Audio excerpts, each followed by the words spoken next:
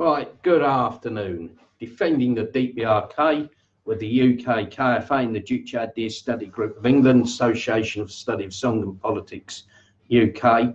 Uh, there's many myths uh, created about the DPRK, and one of them is the false propaganda that the um, sanctions are undermining the DPRK. And I, we, uh, our delegations visited the DPRK in August 2017, September 2018, and we could see no effects of the sanctions on the uh, DPRK. And the fact is, uh, the UN acting as a marionette of uh, the US imperialists have imposed very extreme sanctions on the DPRK, trying to cut off fuel uh, to the DPRK, but through self-reliance, through self-development, through the Juche idea, the DPRK is holding uh, fast. So I think this proves the vitality of the theory of the independent national economy,